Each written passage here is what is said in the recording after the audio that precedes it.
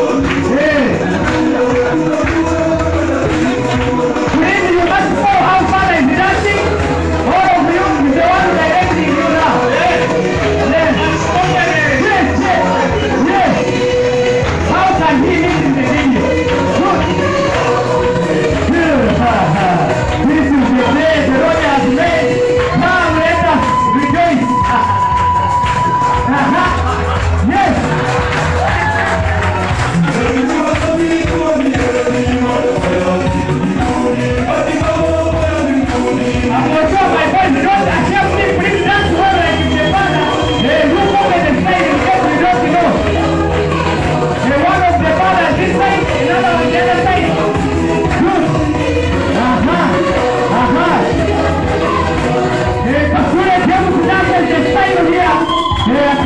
my brother Pope.